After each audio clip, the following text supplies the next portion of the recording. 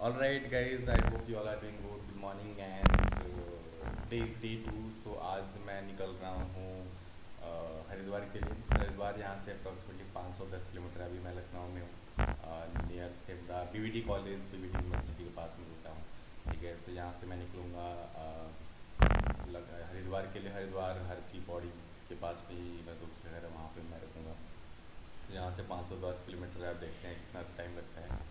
Plan ये था कि मैं पाँच बजे सुबह में उठूँगा and then I leave but actually कल रात में ज़्यादा थक गया था उसके बाद। तो डी कैब जाना एक्चुअली थक गया ज़्यादा उसमें। तो उसके बाद मैंने पाँच बजे उठा था लेकिन फिर सो गया। अब मैं आठ बजे। तो आठ बजे मैं निकल रहा हूँ, देखते हैं आगे कैसा जर्नी है।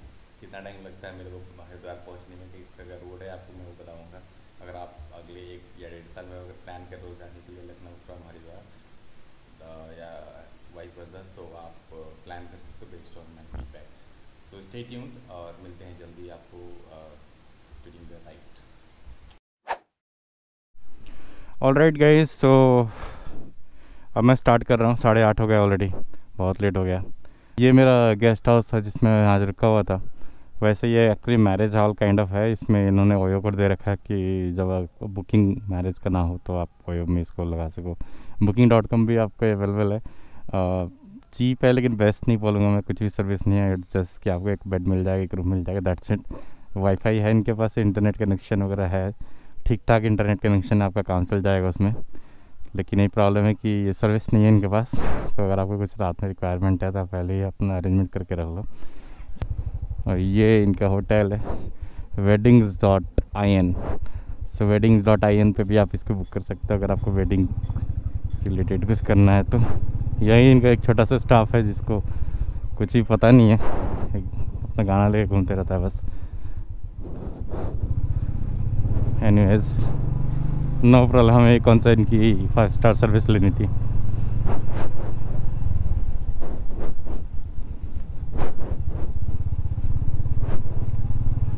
तो हम चले अपने डेस्टिनेशन पे।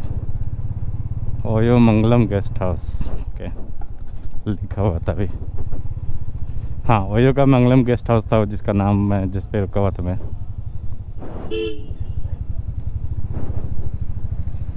और ये आपका लखनऊ गोरखपुर हाईवे हो गया। हाईवे पे ही मैंने रुक गया था। सो दैट बाद में निकलने में दिक्कत ना हो मुझे। इधर उधर घूमना ना पड़े। सो so, आप इस साइड जाओगे तो आपको हाईवे आपको मतलब पीछे साइड में आपका गोरखपुर हो गया। और ये ये आपका लखनऊ एरिया हो गया। सो कल मैंने चला था पाँच सौ बावन किलोमीटर। और आज मैं चलूँगा अगेन 500 साढ़े पाँच सौ के अराउंड ठीक है? So so so so so what we gonna do is अभी भी ये पेट्रोल एक्चुअली मैं रिज़र्व में नहीं आया। सो आई एम सरप्राइज़ इतनी अच्छी माइलेज कैसे आ रही है इसकी? हाँ ये मैंने किया था कि प्रीमियम पेट्रोल डलाया था मैंने लास्ट टाइम पटना मेरे को पड़ा था एटी सेवन पॉइंट समथिंग तो प्रीमियम मैंने फुल कराया था, दस लीटर प्रीमियम डलाया था मैंने एंड उसके बाद मैंने एक जो माइलेज इंक्रीज करने वाला ऑयल डलवा दिया था इस बार। पहली बार मैंने चार साल में माइलेज इंक्रीज करने वाली ऑयल डलाया था। इससे कुछ सिग्निफिकेंट ऐसा कुछ खास इम्प्रूवमेंट नहीं है। मैं ये बोलूँगा कि मैंने राइडिंग कंडीशन थोड़ी अच्छी थी रोड स्मूथ थी, और उसके बाद से I was also riding at a speed of eighty only मैं उसके ऊपर बहुत रेयर चांसेस में ही जा रहा था। तो 80 की स्पीड में आप क्रूज कर रहे हो गियर शिफ्टिंग नहीं हो रही है बाइक रुक नहीं रही है, कम हो रही है, रुक रही है। सो ऑफ़ कोर्स उसका ऑयल कंजम्पशन कम होगा। So that's one thing so भाई देख लो ये हम लोग कहाँ आ गए। मुझे पता नहीं है इस नदी का नाम, शायद ये कोमती रिवर है। I just try to see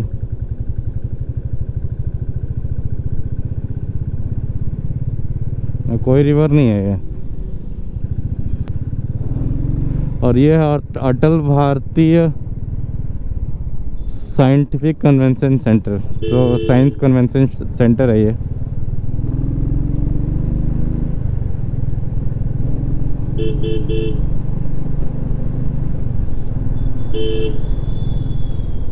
Imambara आपका लखनऊ अगर आप आते हो, इमामबाड़ा अगर आपने ना देखा तो भाई सही नहीं है। तो बड़ा इमामबाड़ा छोटा इमामबाड़ा इसी रास्ते में आपको मिल जाएगा। ये इमामबाड़ा का आपका एंट्रेंस हो गया। बड़ा इमामबाड़ा है लेफ़्ट हैंड साइड में। एंड सो so, यहाँ पे बड़ा इमामबाड़ा और छोटा इमामबाड़ा दो है। आप यहाँ पे आते हो थोड़ा स्पीड से नहीं चलना कि गिर जाओगे। रोड देख रहे हो कैसा है? मतलब ये ईट है इस वजह से। पूरा ये इमामबाड़ा का एरिया है। बहुत अच्छी जगह है। आप आओ तो घूमो। तो इसमें मतलब आपका हिस्टोरिकल इम्पोर्टेंस है इसका। तो काफ़ी फ़ेमस प्लेस है लखनऊ का ये। एंड आई मुझे नहीं पता था कि ये इमामबाड़ा होकर के ही जाएगा। So it's a good thing मैंने इसको रिकॉर्ड कर लिया एटलीस्ट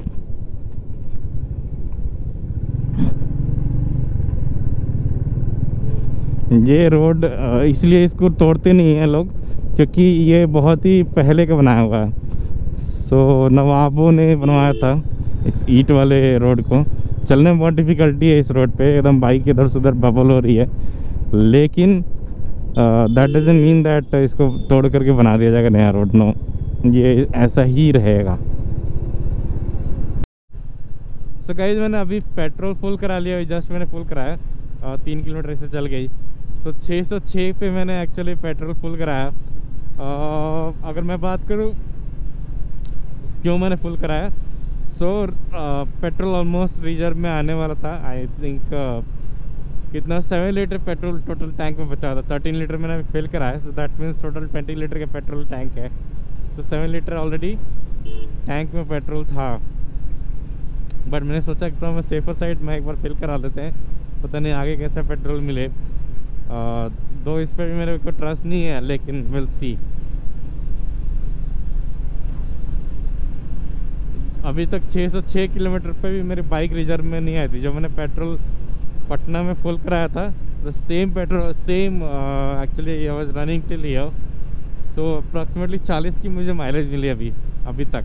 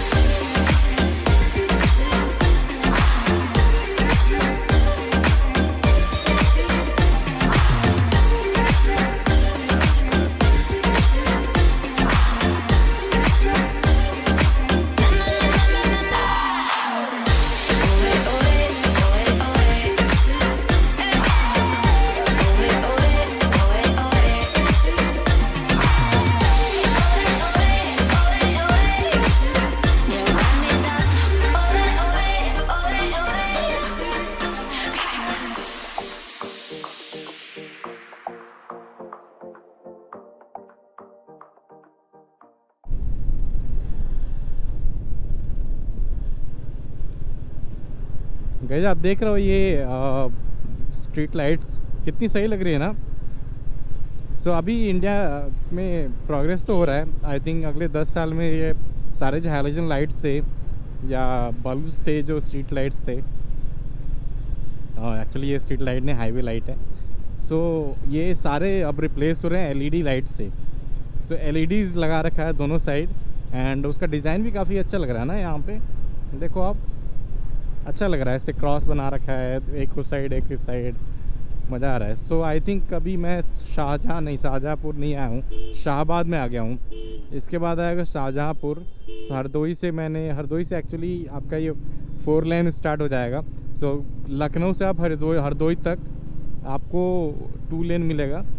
टू लेन मैं उसको सिंगल लेन ही बोलता हूँ कि वन साइड से आना वन साइड से जाना राइट अभी क्या है कि टू लेन लेफ़्ट में टू लेन राइट में तो ठीक है मतलब हर दो ही से लेकर के आपका आगे तक फोर लेन ही मिलेगा आपके टर्म्स में, आपके भाषा में है उससे तो अभी मैं शाहबाद क्रॉस कर रहा हूँ, उसके बाद अभी आएगा पैंतीस या चालीस किलोमीटर यहाँ से शाहजहाँपुर है।